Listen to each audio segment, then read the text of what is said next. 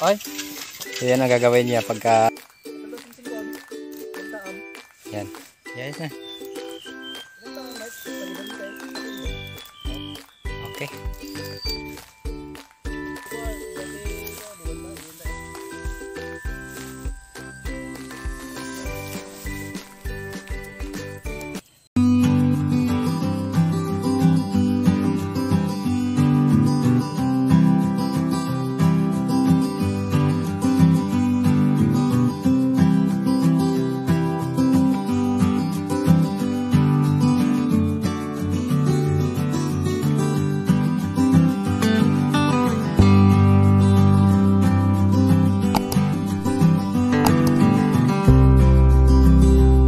Ayan, magandang magandang araw mga kagre. So dito tayo ngayon sa area ni Chris. So ang aking pinsan, ayan. So napasyal tayo rito. Ano kami ng papaya?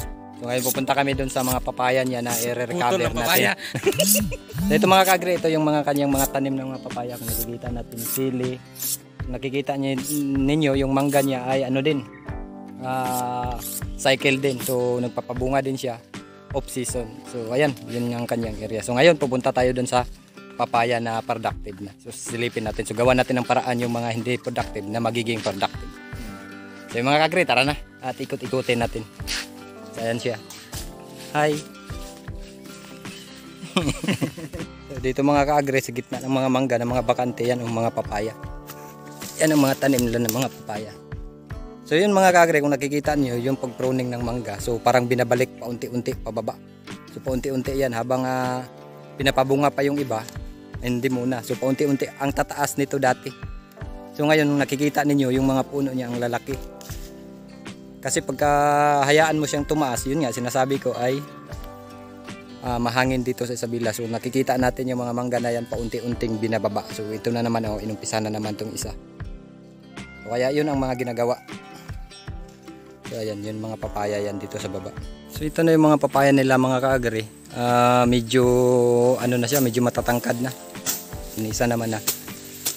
So ang gagawin natin yan mga kaagri, at anuhin natin. So ihihiga natin. So malaking bagay kasi yung ihiga natin para magiging productive ulit siya at saka magiging matibay din siya lalo na sa hangin din siya magiging stress palagi tuwing dumadaan yung malalakas na hangin. So itong mga nasa gitna mga kaagri ay rubber tree to so naka-intercrop itong papaya.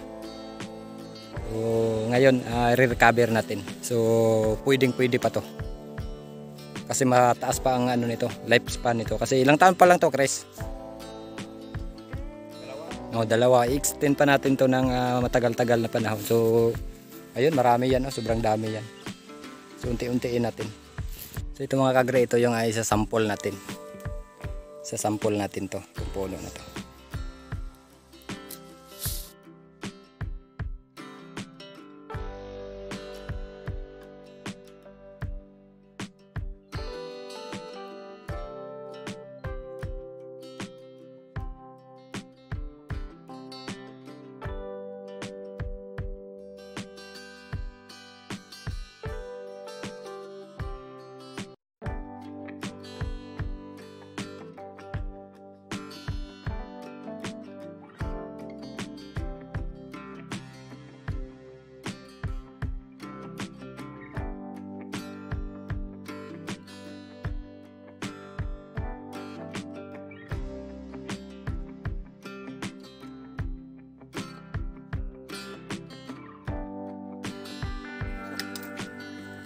Buhay na na.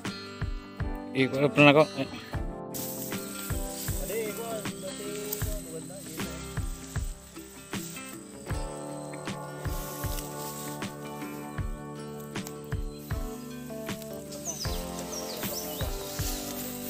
Ngayon mga kagre, si Chris naman ang titira.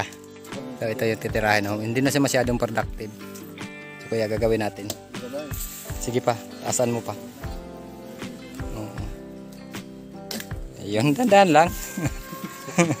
Huwag mataranta, pugi. Ay. So yan ang gagawin niya pagka ano. Pero yung mga productive pa, ayos pa yun, hayaan lang muna. Pagka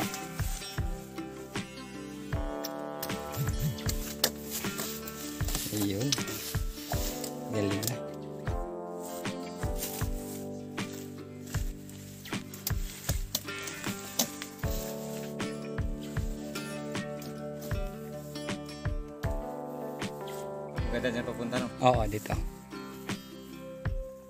Sige pa, lagyan mo pa. Nyaanan pa na ako ng Sige.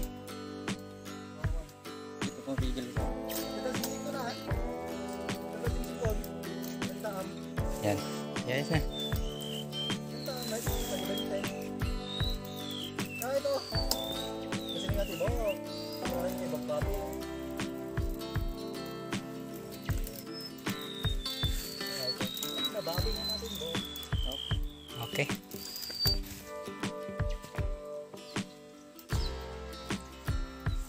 Paamo. Huwag mo sa... Iyan ko. Ayun. Ayos yan. So yun na mga kagre, yun, ito yung una nating ginawa. So tuloy-tuloy yan. So si Chris na ang magtuloy-tuloy kung kailan niya gagawin. So every morning gagawin niya or ano. So ito, ah, gagawa siguro tayo ng mga lima ngayon na sample.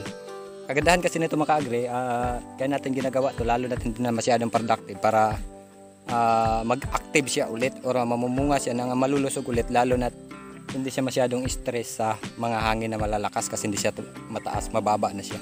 So pwede din naman yung ginagawa natin na kunin natin yung puno tapos ilagyan natin ng rootstock tapos ibababa yung una natin ginawa. So ito yung pinaka-alternative gawin din na mas madali din siyang gawin.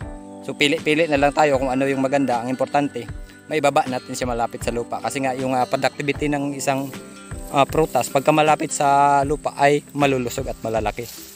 So, yun mga kagre. So, tuloy-tuloy lang yan. Andun si Chris. So, gawin niya lahat yan. Ayan, kasama ko si Boss Ryan. Ayan, yung boss natin. At saka si Chris siyempre.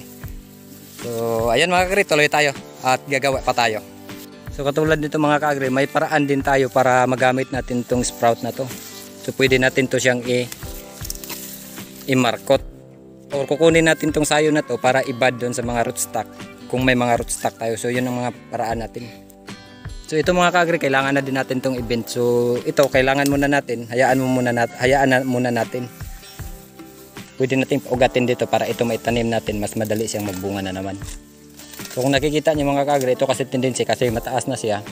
Kailangan nating event para yung nutrient na naman, aakyat na naman dun sa taas. Pagka hindi aakyat sa taas, dito na naman siya mapupunta. So isa din yung dahilan na hindi masyadong maging productive dun sa taas. So kaya event natin siya para malagdagan na naman yung lifespan niya, pakinabangan natin siya at saka mas lulusog yung kanyang ah, bunga. So ayan ang kalulusog ng iba. So ibibent din yan lahat ni Chris. So ayun nakasample na tayo. So tuloy-tuloy tayo. So tara, balik na tayo doon. So siya nang bahala dyan. So yan mga kagre, maraming maraming salamat ulit sa pagsama. So hanggang dito na lang tayo kasi medyo yung ulan. Medyo malayo-layo pa yung aming uwian. Ah, So ayun oh. Kasama ko si Chris at saka si Boss Ryan. So nakikita natin yung mga mangga mga kagre, maganda yung pagka ah, process doon sa pag-pruning. So tuloy-tuloy yan. So hindi na yan maipiktuhan masyado pagka malalakas ang hangin. So kasi sobrang lalaki na ng mga puno, hindi siya masyadong matangkad. So yun mga kagre, maraming maraming salamat ulit sa inyong pagsama. At salamat sa ating mga subscribers, sa ating mga viewers sa walang sawang pagsuporta. So ayun, magandang araw.